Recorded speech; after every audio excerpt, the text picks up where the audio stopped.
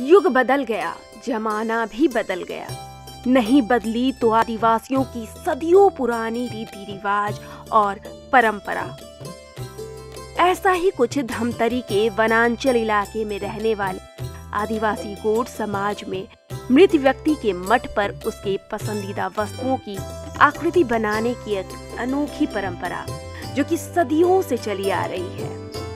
यह परंपरा अब भी आदिवासी बरकरार रखे हुए हैं।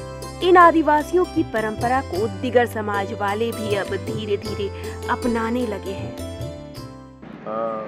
क्या है कि भाई इसको अपने पूर्वज लोग जैसे भी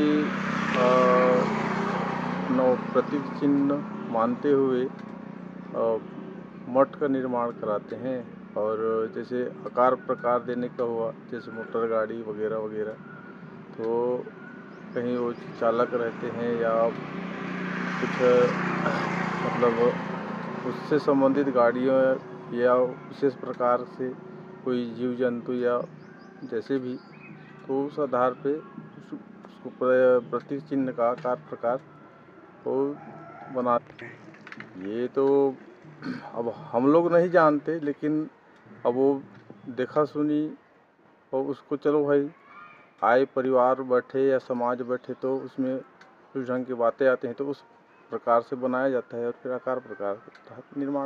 वास्तव में हमारा जो समाज है ये आ, मतलब पुरातन संस्कृति को मानने वाला समाज है क्योंकि ये जो है ना रूढ़ी के ऊपर चलते आ रहा है दादा दादा की पीढ़ी के ओर से ये चलते आ रहा है। जब भी हमारे यहाँ पे किसी का मृत्यु होता है उनका सम्मान पूर्वक मठ बनाया जाता है। और मठ के ऊपर में जो हमारे जो बेटी माई लोग रहते हैं जो हमारी बहन होती है हमारी बुआएँ होती है वो वो लोग उस मृतक के याददाश्त में एक प्रतीक चिन्ह रखते हैं जैसे वो कुछ भी हो सकता है जैसे घोड़ा हो या फिर बैलगाड़ी हो या इस या तो फिर आपका आ, मोटर कार वगैरह हो इस टाइप से रखते हैं।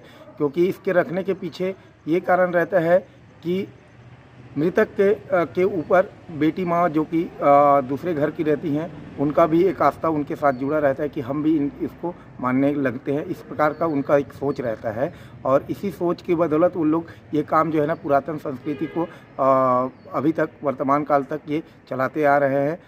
और इसमें दूसरी, दूसरा तरफ़ से अपन देखें तो एक वैज्ञानिक दृष्टिकोण भी है कि लोगों का मिलन भी हो जाता है और जुड़ाव भी हो जाता है और बेटी माई लोग का जो हक रहता है, वो चीज़ इसमें देखने को मिलता है। दरअसल धमतरी ज़िले का नगरी सिहावा इलाका वनांचल क्षेत्र है।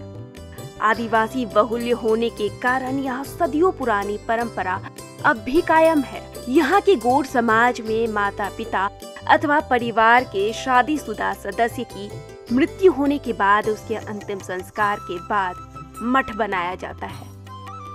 चबूतरानुमा मठ पर मृतकों के पसंद की वस्तुओं की आकृति तैयार की जाती है।